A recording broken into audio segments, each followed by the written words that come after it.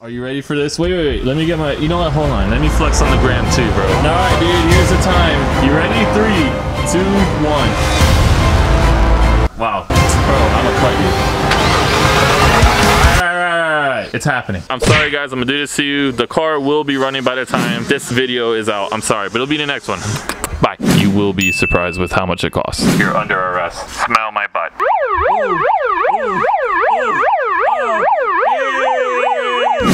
Finally, NoirGang, so I'm gonna, whoa, wait, before I forget. Dude, look who's here. Look who actually showed face and is actually being a good friend. Hi, Bree. Um, hi. How many videos do you, of mine do you watch a year? One. Right, dude, she's such a bad friend. This is the video that you guys have actually been asking for a couple of months and everybody, before I can even finish my swap, was the first thing they were at. There's two things that you guys are always saying. Hey, Cheyenne, why don't you just boost to 3.7, dude? Why don't you just boost to 3.7, But I ask dude? you all the time. Why don't you just boost to 3.7, dude? The second thing was, there's no way this costs, like, this is way more expensive than boosting to 3.7. Way 3.7. more money. It's way more expensive. Everything we're doing, we're lying to you about price. Facts. Honestly, I'm just lying to you guys about these numbers and figures because I just want you guys to be in a money pit like me. Ignore the Mustangs, my bad. Today we are actually going to talk about how much this costs. This right here specifically, how much that is, and also maybe a little bit of that. Everybody's been telling me that I'm going to spend like $15,000, $13,000. So I guess like, you know what? Today is going to clear up everything. So I'm going to do a uh, price breakdown. I'm also going to talk about where you can't get the mods that I bought and just make it as easy as possible. We'll get started right now.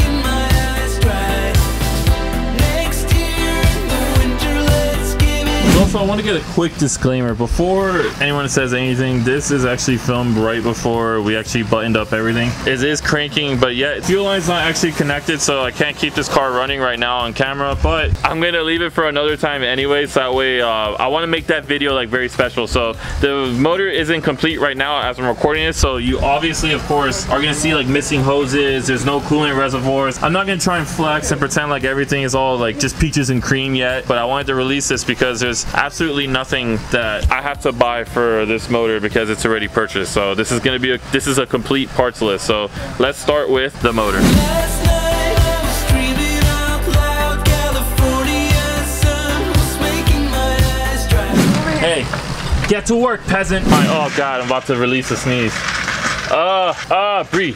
Help me. Oh, take K. I need take K. Oh, okay, okay. that worked. Actually, that worked. Thank you. I appreciate Dude, you gonna let her slap me in the face like that? She just smacked me in the face and I didn't sneeze. I didn't even know that was a thing. It works. It worked though. Thank you. We are gonna talk about how much all this costs, and we're gonna start with the motors. I actually got this motor for $1,400, but it came with the Q60 uh, transmission as well too. I got this motor in a really questionable and sketchy manner from a very sketchy person, but he did charge me $1,400. So for a transmission and motor, and the motor is working and healthy, the motor I found a couple that are selling for a thousand dollars. This is the one where I say like it's really hard and based on your area. I've had people tell me that they live in Dominican Republic and they're getting charged like twenty five hundred dollars, and I've seen the average price go around anywhere from literally a thousand to three thousand. So it really just depends where you are, but I would say the average is one k to three k, but the the cost of VR30s is coming down. Here's the thing that also made my motor cheaper. So I when I did get it, I didn't have the the tent the pulleys or I didn't have the belt. So that I actually went ahead and ordered from Z1, but that came out to what was it? So the missing pulleys came out to $467.62. So even though I saved on buying the motor, buying the missing pieces for the motor actually kind of put me a little over the budget that I expected. If you can, I would just try to go ahead and find a motor that has it complete instead of piecing it together like how I did. It will save you a little bit of change. Didn't you tell me it was like seven thousand dollars? Why are you killing the whole video, dude? Why are you killing the whole video, dude? Now they're now they're not. Look, can't even I can't. shirt. Yeah, that's why I got holes in my shirt. I'm trying to do a VR swap, dude. I don't got time for that. you just turbo a 3.7? What's wrong with you? Just I should have just boosted 3.7, Just spent eight grand on a kit. right? Moving on now to the downpipes. Not just the downpipes, we're also gonna go with the exhaust also. So if you guys already have an exhaust, don't don't do what I did and sell your exhaust thinking that you're gonna need a full custom exhaust. Didn't have to sell the ISR exhaust I had, it would have worked, but because I didn't, I, honestly, we stepped into territory that we, you know, we, I just didn't know, to be honest. Putting all the dirt in the pile. Okay.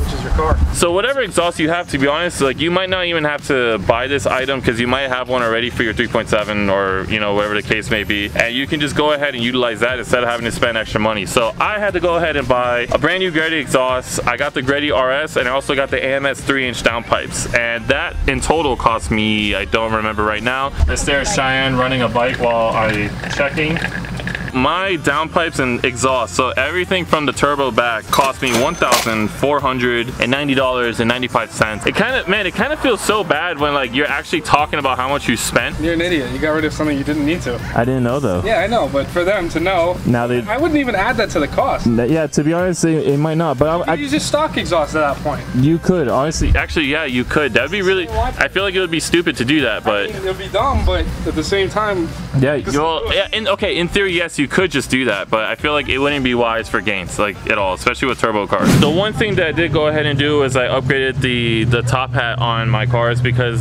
370Zs are known to crack top hats, and I've actually had mine crack for about a year. The top hat itself, I paid $256.45 for, and I did go ahead and upgrade to the Walbro Hellcat 525 low pressure fuel pump. So the fuel pump and the top hat the fuel pump itself actually got off OfferUp, brand new. It was for $100, which was a great deal. To be honest, some of these things I got at a great steal of a price, and I was surprised I even found them. Hey, ready to high five me, dog? What's up, bro? Yeah. Oh, you okay? I shouldn't laugh at my daughter, but that was funny. You okay? No, you good? Fist bump? You're good?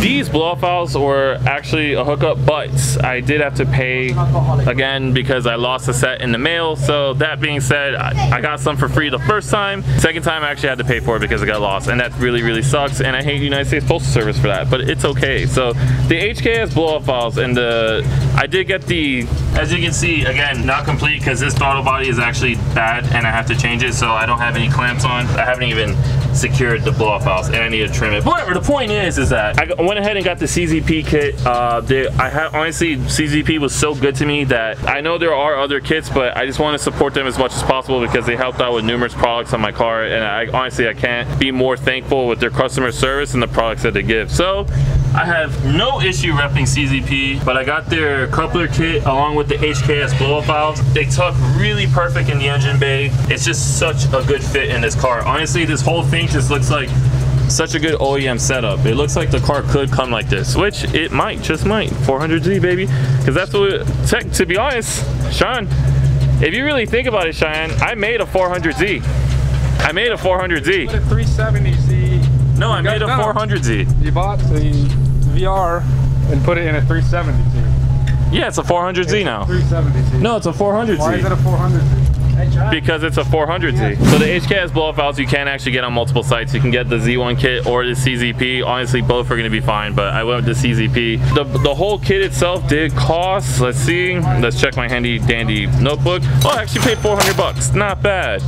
$400 for two blow-up valves and a coupler kit. I'll let my favorite person in the world describe the flywheel since he messed up the install the first time with the pilot bushing. Bearing. Everything went now. smooth. Um, Ray messed up the install as usual. So Uh, what what flywheel did you even get, bro? we got this is my favorite JWT Jim Wolf Technology. All right. Uh, what the? Haha, it was a fake one. Don't relax, everybody. We installed the flywheel. You use a stock pressure plate, or in this case, you just the Z1 pressure plate. Is it? yeah, Z1 pre- Z1 pressure plate, and Z1 clutch. and Z1 clutch. Uh, which one is it? The full face yeah, the spring. full face. Cause Doesn't uh, matter. It doesn't matter. Yeah, it doesn't matter. Doesn't I'm gonna matter. jump in this. I'm gonna- oh my god. Oh. We actually don't have to use any other clutch system because this flywheel is made for this, you know, 370Z. Man, what is she doing in What are, your you, car? what are you doing? Hey, bro. First of all, you look like an infant sitting in here. Oh my god, you look so tiny on camera. Whoa. All right, What- JWT stock uh, drive Oh. shaft. Oh yeah, that's right. Stock. Stock drive shaft. You could still use the stock transmission mount. I upgraded mine. Ray stayed cheap, and then you have to stock one.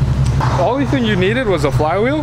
which was how much? No, it was four hundred and ninety-five dollars. All right, so let's let's say 550 for shipping's sake. I don't know. no, I'm not including shipping. I'm gonna include five, five okay, 500. Uh, aftermarket motor mounts if you needed them. The mounts, you can use the OEM ones, but the motor does sit a little too high for the VR because it is a taller motor compared to the VQ. I am actually not able to run the strut bar right now, so I'm, I'm in that dilemma where I'm going to either make a custom strut tower and that will work, or I could just use the Z1 mounts, which I think I'm gonna go that route and just do that because I want to make everything as OEM as possible. The mounts actually paid $200, but I do recommend the Z1 mounts just because you have the adjustability. Right now, I'm running the BDE ones, so 200 bucks. The flywheel was another 495. Last but not least, I have a heat exchanger.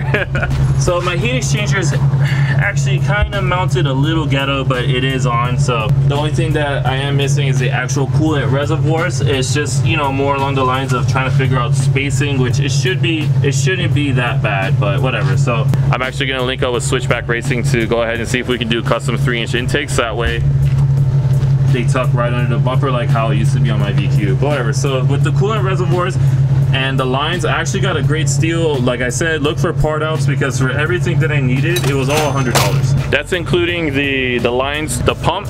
I got a great steal. The pump, the coolant reservoirs, all the lines, uh, $100, which I feel like that's definitely gonna vary and look for those people, look for those part outs and you'll get a great steal. The, at the heat exchanger, like I said, that actually paid, how much did I pay for that again? That was the, I got, honestly, I don't even wanna say this company, this heat exchanger is such, this heat exchanger is actually so much booty that I don't, want to even like recommend it to be honest i would recommend just if if you can i'm sure other people who have been doing the vr swap recommends the ones that they have but this heat exchanger i got was 180 dollars i do wish i spent a little bit more so that way i can get a higher quality one. 180 dollars got the job done and then you have that little flex of now my grill i have i have a intercooler looking thing so i guess that looks cool but whatever like this this company just make sure you don't cheap out on these parts just like i did.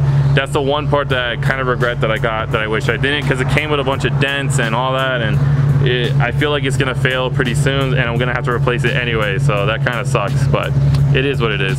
The harness. Now the thing is i can't give you an actual price of how much the harness costs because everybody varies so much. I did get quotes from anywhere from like 800 to 1500 one guy even tried to charge me 2000 since there is no one real really doing this swap often and has like a, a standalone engine harness for this swap just ready to go. Everybody's prices right now is just all over the place. I can't include it into the price because thankfully i did get sponsored by martin from artist Enthalpy, and he actually did help me out with not only just the harness but the tune the tuning device. Thank you EcuTek for sponsoring me and helping me out with the build honestly i can't be more thankful because again that saves so much money and i'm glad to be working with a company where they're always constantly developing on the vr platform. Not even just the vr platform but the but the the 3.7 also and the 3.7 is dying out. It's finally a motor where you know it's been out for so long and they're still continuously giving out support. The pricing of tuning and getting the device will probably be like a thousand for the the device and maybe six 600 to 800 or 900 depending on who it is to get your tune. I always recommend always martin because martin just is just really knowledgeable cool guy. His customer service is like honestly one of the best. I'll link i'll put his um, instagram here and also leave a link to it in the description. So that being said that realistically is it. Now how much does this come out to in total? Everything together. This was something that everybody said was to cost me $10000 $15000 that why lower displacement for unreliable motor. You might as well you might as well just boost to 3.7 that all this other crap bro. Everybody was telling me that this wasn't gonna work that i had to get a custom drive shaft that i had to do i had to yeah like all this random crap that everybody was assuming. I'm gonna bluntly say that this swap cost me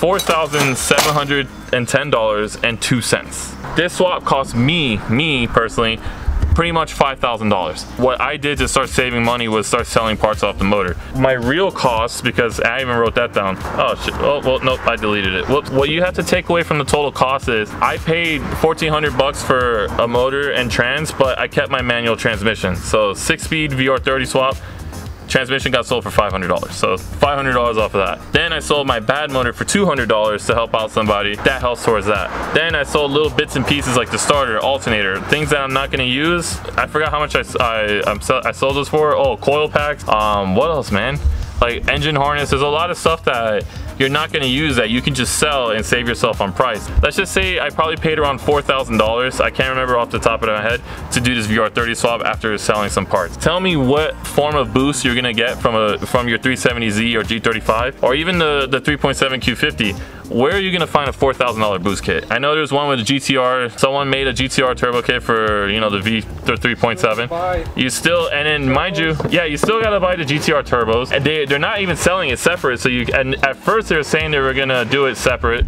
But you still have to pay for the kit, and they want to install it, and they want to tune it. It's a cool swap though. It's a cool swap. But it costs $9,000. Then you have uh, other twin turbo kits that cost like around $12,000. And then you have Switchback Racing, which I think they're around like 9,000. Honestly, I like their, their single turbo kits a lot. Switchback Racing is really dope. Honestly, everybody was saying, why not just boost to 3.7? Well, it costs twice as much as what it costs for me to do this. Anybody who's interested in doing this swap, I only thing I can tell, the only thing I can tell you is please do your research. Try and secure an engine harness first. That's one of the hardest things. Get the flywheel ordered because that takes a month to be made. And then just start lining up your ducks, Talk to your tuner, what you're gonna need, what you should do, etc. DM me or DM others who have done it, and we can help you out and try and make this process as smooth as possible. But for pretty much $4,000, that's how much it costs to make my own little fake 400Z and honestly I love it. I can't wait to get more content with this car get some good races in. Um, I hope that he goes boost one day on his 3.7 so I can destroy him anally. Maybe.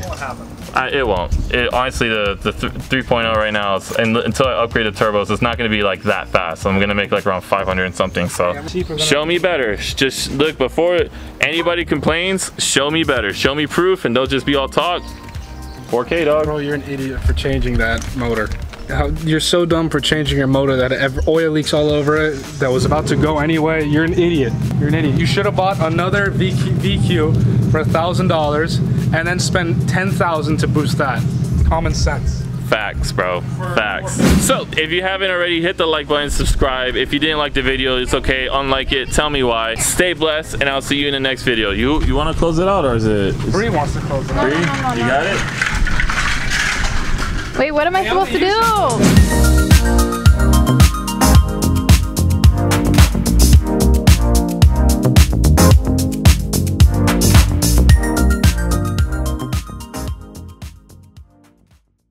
Thanks for watching, and I'll see you in the next video.